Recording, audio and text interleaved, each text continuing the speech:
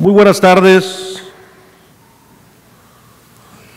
integrantes, diputados, diputadas de esta decimoquinta legislatura, representantes de los medios de comunicación, ciudadanía que nos honra y fortalece esta soberanía popular con su importante presencia.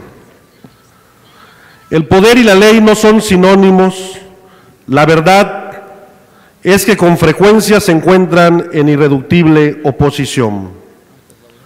La justicia como obra humana siempre es perfectible, siempre tiende por vocación intrínseca a superarse, a alcanzar estadios mejores y confiables.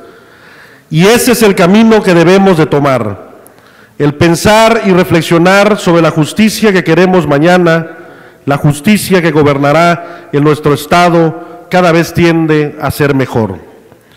No debemos de pensar en el futuro de la justicia, sino, señores candidatos a magistrados, debemos de pensar en la justicia del futuro. De esta elección a ocupar las tres vacantes a magistrados, surgirán los profesionistas idóneos para desempeñar tan importante labor. El día de ayer, ante este pleno deliberativo, se les otorgó el uso de la tribuna a los candidatos a magistrados hecho nunca antes realizado en las postulaciones mismas, con la finalidad de exponer los motivos del querer desempeñar tan importante figura jurídica, así como su carrera judicial y su experiencia en el ámbito.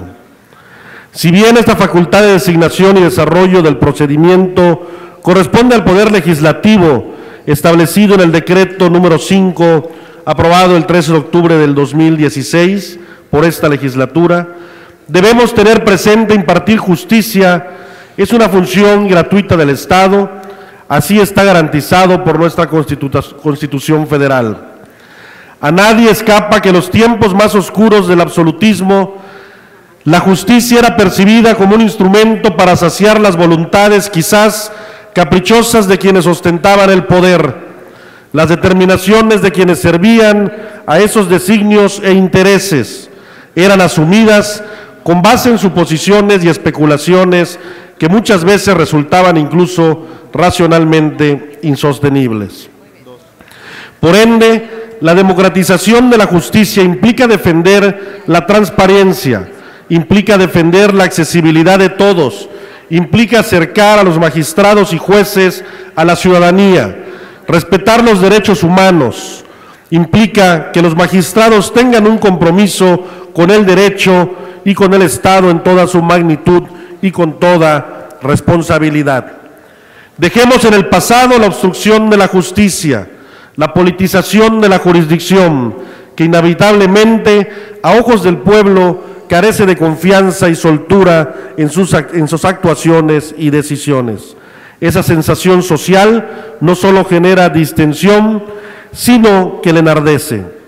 En esta tesitura, la decimoquinta legislatura busca contribuir en una percepción óptima de la función judicial y lograr con ello credibilidad y confianza ciudadana. Es necesario garantizarles la autonomía decisiva al Poder Judicial. Esa justicia que se dispensa y resuelve cada día por miles de resoluciones que día a día dictaminan los órganos de impartición de justicia y que no informan de un número ni de un expediente, sino informan de vidas enteras, de patrimonios en juego, de libertades en riesgo y de respuestas que cada uno espera sin suponer desconcierto, dilación o simulación.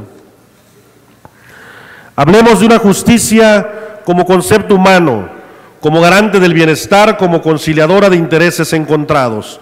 La justicia como ese acto público que alcanza el ser más importante y poderoso factor de crisis sociales e indiscutiblemente el mejor remedio para colmar las ansias populares más justificadas.